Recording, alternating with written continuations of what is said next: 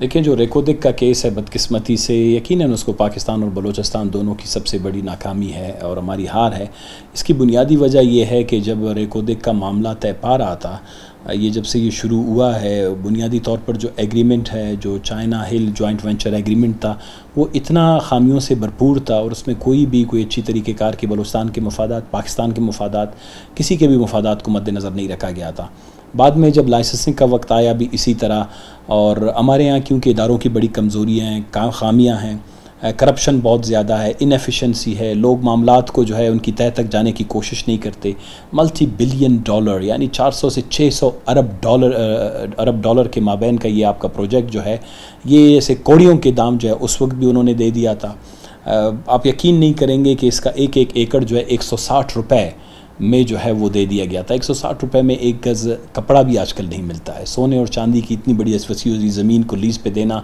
اور ابھی جب ہم اس کیس کو آ رہے ہیں، اب بھی بدقسمتی سے امرے کو دیکھ کے اس فیصلے سے جو انٹرنیشنل جو ہمارا وہ سینٹر ہے فار سیٹلمنٹ ڈسپیوٹ کا اس کے فیصلے کے بعد بھی ام میں کوئی میرے خیال میں شعور اور آگاہی نہیں آئی۔ ابھی بھی اسلام آباد یونیلیٹرلی یونیلیٹرلی سے مراد یک طرفہ طور پر جو ہے، وہ بلوچستان کے معاملے کو، بلوچستان حکومت کے چند جو ہے، مخصوص لوگوں کے ساتھ زیر بحث لا رہی ہے۔ امریکہ جا رہے ہیں اور باقی وہاں پہ جو جہاں پہ یہ کیسز لگے ہوئے تھے، وہاں جا رہے ہیں۔ یہ معاملہ ابھی تک بلوچستان اسمبلی میں میں ایک قرارداد کی صورت میں لے آیا، اس پہ تفصیلی بات ہوئی، طے یہ پایا۔ کہ بلوچستان میں ایک اس پہ ورکنگ گروپ بنے گا، ایک کمیٹی بنے گی جو آلریڈی ہماری کمیٹی بنی ہے، اس میں اس معاملے کو لے جایا جائے گا۔ اس کے امپلیکیشن یا اس کے جو ہے نقصانات ہیں بلوچستان کے لیے یا فوائد ہیں، ان پر سے راسل بحث ہوگی۔ بلوچستان بیس ایک کمیٹی بنے گی لائرز کو لیگل اپنے ایکسپرٹس کو کنسلٹ کیا جائے گا اس میں۔ اس کے بعد بلوچستان کا اپنی ایک بلوچستان کی اپروچ اور بلوچستان کے چیلنجز کو دیکھتے ہوئے اس کا اچھا سا ایک پیکج بنائیں گے۔ ہم انٹرنیشنلی یہ جو ادارہ ہے جس کے ساتھ ہمارا جھگڑا چل رہا ہے اگر یہ سیٹلمنٹ کے لیے آنا چاہتا ہے، ہم اپنے مفادات کو ملوز خاطر رکھ کر ان کے ساتھ بھی بات چیت کے لیے تیار ہیں۔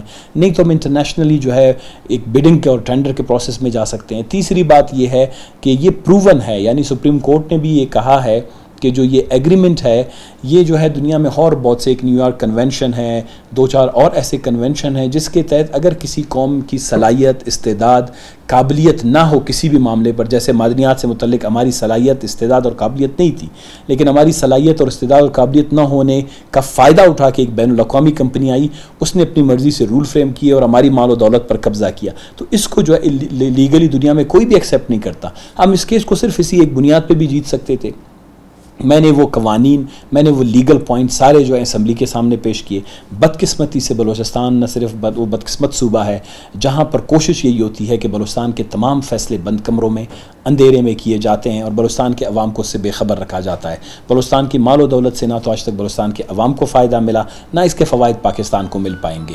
تو میرے خیال میں ضرورت اس عمر کی ہے کہ روکودک کے معاملے پر بلوچستان کی میں جو کمیٹی ہے صوبہ اسمبلی کی، اس کو فعال کیا جائے ایکسپرٹس کو بلایا جائے بلوچستان میں تمام اسٹیک ہولڈرز پولیٹیکل پارٹیز کو بلایا جائے بلوچستان کے نوجوانوں کو مائن اور منرل سیکٹر کے ایکسپرٹس کو پروفیسرز کو لٹریٹ لوگوں کو، تاکہ ہم اس معاملے کے بارے میں اچھی بات چیت کر سکیں۔ تو جب تک یہ نہیں ہوتا، میرے خیال میں اس سے میں فوائد نہیں ہوں گے۔